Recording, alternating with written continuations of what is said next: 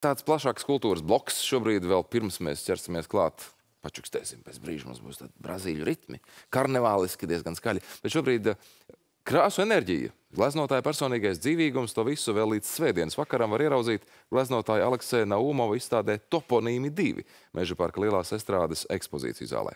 Izstādes skatītājiem jau pats ceļojums uz Meža parka lielo ekstrādi ir piedzīvojums, un Naumova lielformāta darbi jau pa gabalu redzami stiklotajā zālē. Izstādi aplūkot devās arī žurnāliste Ilza Strenga. Te ir Rīga, te ir sniegs, tas ir kāds no loga.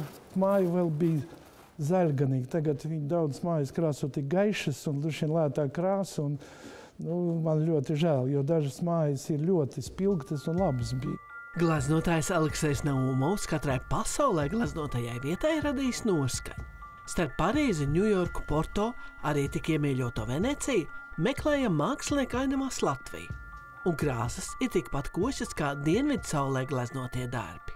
Latvijā tur ir arī brīnišķīgi krāsas, tikai vajag uzmanīgi apstīties vai apstāties. Nu, šeit arī bija vienkārši horizontāls trīs līnijas, nu, faktiski tā kā tāds karogs, tāds, tāds, tā kā zaķis, tu ar lielo otu skrien, saprot, tā, un tā, un tur ir, kur attiet nost, nu, tādā ziņā, nu, ir dabā. Tad apsties, vai labi vai nav labi. Nauma gleznas rodas tajā vietā, kur mākslinieks pasaules ceļos apstājies.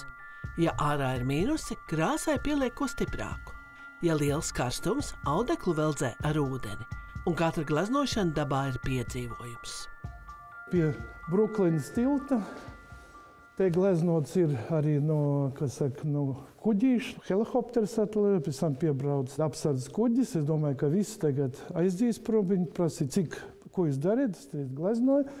Un cik es teicu, nu, kaut kādas divas stundas vajag. Viņa teica, jā, nu, tikai nestāviet pa vidu. Tur bija tiešām tāda uh, adrenalīns, vai kā tu laiva šūpojies, tu glezno un, un viss. Te ir porto līņā. Grūti būs, kad lietas līdz tad visu, kas saka, nevar uzgleznot. Bet tur bija tāds mācīties baznīcā. Viņš saka, nu, rītā nāc 12. Es saku, nu kā, nu, viņš teica, es sarunāšu tur tā parādīja uz augšu. Nu, es atnācu 12. tiešām lietas nelieku, un es uzgleznoju. Izstādē aplūkojami arī jauni darbi, un tiem paralēli Aleksis Naumovs glezno animācijas filmas Sirds likums katrs. Un top arī ilustrācijas Ineses Zanders dzējas krājumam par auto. Strādājot animācijā, tur es izmantoju to krāsu. Ja? Tad tas ir tādi, tādi krāsas sprādzieniņi nu, pie kopā rozes stiebra. Ja? Nu, es vienmēr atrodu to. Nu, dažreiz, kad tu gleznoji, tu var aizbraukt ļoti tālu, pēc tam vēl 100 metrus un vēl 3 metrus, un tad tu atrod to, ko tu gribi. Aleksēna Naumovi izstāde Toponīma 2 Meža parka lielās estrādes izstāžu zālē skatām līdz svētdienas vakaram un toponīma viens Daugopils Marka Rotko mākslas centrā vēl pāris nedēļas ilgāk. Ilza Strenga, Edgars Bitte, Latvijas televīzija.